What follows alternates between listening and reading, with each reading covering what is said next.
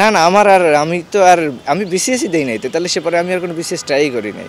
তো আমি চাকরিতে জয়েন করার পরে একটার পর একটা চাকরি রেজাল্ট হতে থাকল আর আমার চাকরিগুলো হয়ে যেতে থাকল। আমি জাস্ট চাকরিতে জয়েন করার পরে শুধু ভাইবাগুলো দিয়েছি। এখন আমি যখন হাউস বিল্ডিং ফাইন্যান্স কর্পোরেশনে ছিলাম, বাংলাদেশ ব্যাংকে ভাইবার সুযোগ হয়েছে বেটার অপরচুনিটি আমি ভাইবা দিয়েছি, আমার বাংলাদেশ ব্যাংকে হয়েছে। বাংলাদেশ ব্যাংকে থাকলে আমার জুডিশিয়ারিতে হয়েছে, আমি জুডিশিয়ারি জয়েন করেছি। এরপরে আমি তেতাল্লিশ বিসিএসে ভাইবা দিলাম, এখানে হয়ে গেছে, এখন আমাকে, আমি পড়াশোনা করেছি বিসিএসকে টার্গেট করে। এই যে আমার ওয়াইফকে আমি বিশেষ রিটেনের সেন্টারে দিয়ে এরপর আসলাম এখানে। আমার বয়সী যারা, ছাব্বিশ, সাতাশ বা মাত্র শুরু করেছে গ্র্যাজুয়েশন শেষ করেছে, তাদের উদ্দেশ্যে আমি বলব যে ধৈর্য ধরতে হবে। আপনি টানা এক দেড় বছর ফেল করে যেতে পারেন বিভিন্ন পরীক্ষায়, যেহেতু অনেক কম্পিটিটিভ কিন্তু আপনাকে প্রসেসটা ঠিক রাখতে হবে। প্রিলির একটা ডেট দিয়ে দিল, আমি এক মাস আগে পড়তে বসলাম, এরপর আমার প্রিলি হলো না, আমি দোষ দিলাম, এই আমার তো হয় না না।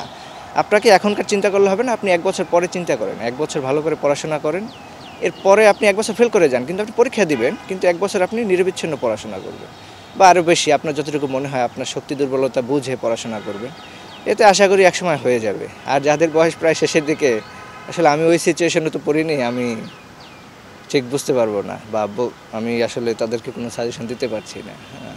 এটা যাদের একটু কম বয়স, ছাব্বিশ, সাতাশ বা আঠাশ, আমার বয়সী যারা, তাদের উদ্দেশ্যে বা ফ্রেশ গ্র্যাজুয়েট যারা তারা এভাবে ফলো করতে পারে। প্রসেসটা ঠিক রাখতে হবে। হ্যাঁ না, আমার মনে হয় তারা খুশি। আমার আসলে আমরা যারা বন্ধুরা একসাথে চলাফেরা করতাম, তারা সবাই জাজ হয়ে গেছি। তারা অবশ্যই খুশি এবং আমিও ওদের সাফল্যে খুশি। ওরা সবাই জাজ হয়েছে আমিও খুশি। না, ওরা আসলে বিশেষ দেয় নাই। ওরা বিশেষ দিয়ে ওইভাবে ট্রাই করে নাই। আমার বন্ধু মহলে মনে হয়, বিশেষ করে ডিপার্টমেন্টের ল ডিপার্টমেন্টের কিন্তু আমার বাইরের যারা ডিপার্টমেন্টের ওখানে কিন্তু আবার অনেক ক্যাডার অফিসার আছে। হ্যাঁ একচল্লিশে আছে।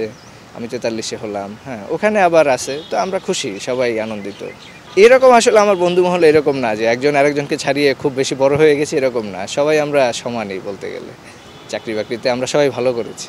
আমি আমি বিবাহিত, আমার অবশ্য বিশেষ রেজাল্টের ঠিক দশ দিন আগে আমার বিয়ে হয়, ছাব্বিশ ডিসেম্বর বিশেষ রেজাল্ট হয়, আর পনেরোই ডিসেম্বরে আমার বিয়ে হয়। এই যে আমার ওয়াইফকে আমি বিশেষ রিটেনের সেন্টারে দিয়ে এরপর আসলাম এখানে। আমার ওয়াইফের স্বপ্ন বিশেষ প্রশাসন ক্যাডারে আসতে চায়। ও ল ল ডিপার্টমেন্টে পড়াশোনা করেছে কিন্তু ওর স্বপ্ন বিশেষ কেন্দ্রিক। মানে প্রফেশনালি স্বপ্ন অন্য স্বপ্ন থাকতে পারে প্রফেশনে যেটা আসতে এই বড় হকে স্বাগত জানাই regal dressing table.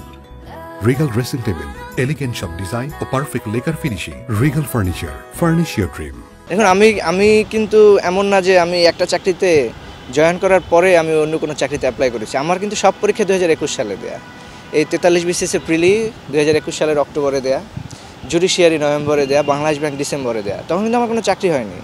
আমায় আমি প্রথম চাকরিতে জয়েন করি দু হাজার বাইশ সালের জানুয়ারিতে, হাউস বিল্ডিং ফাইন্যান্স কর্পোরেশন। তো এর আগে কিন্তু আমার সব চাকরি পরীক্ষা দেওয়া শেষ। আমি যখন বেকার আসলে, আমার মাস্টার্সের সাত আট মাস পরে।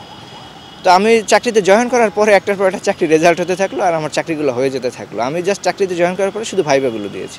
এখন আমি যখন হাউস বিল্ডিং ফাইন্যান্স কর্পোরেশনে ছিলাম, বাংলাদেশ ব্যাংকে ভাইবার সুযোগ হয়েছে বেটার অপরচুনিটি আমি ভাইবা দিয়েছি, আমার বাংলাদেশ ব্যাংকে হয়েছে।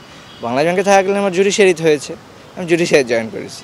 এরপরে আমি তেতাল্লিশ বিসিএসে ভাইবা দিলাম, এখানে হয়ে গেছে, এখন আমাকে আমি পড়াশোনা করেছি বিসিএসকে টার্গেট করে। না না, আমার আর আমি তো আর, আমি বিসিএসই দিই নাই তেতাল্লিশের পরে আমি আর কোনো বিসিএস ট্রাই করি নাই।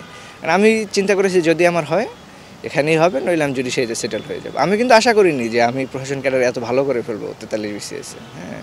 ইভেন বাংলাদেশ ব্যাংকের চাকরি আমি আশা করিনি যেমন বাংলাদেশ ব্যাংকের চাকরি হবে। আমি মূলত প্রস্তুতি নিচ্ছি সিনিয়র অফিসারের জন্য। তো এডির পরীক্ষা আগে হয়ে যাওয়ায় আমার বাংলাদেশ ব্যাংকের চাকরিটা আগে হয়ে গেছে। সিনিয়র অফিসার আর পর পরীক্ষা দিতে হয়নি। এখন কি তাহলে থিতু হবেন? অবশ্যই। প্রশাসন ক্যাডার এটা সবাই বলে আমার ফ্যামিলি বাবা মা তুমি যাও এখানে।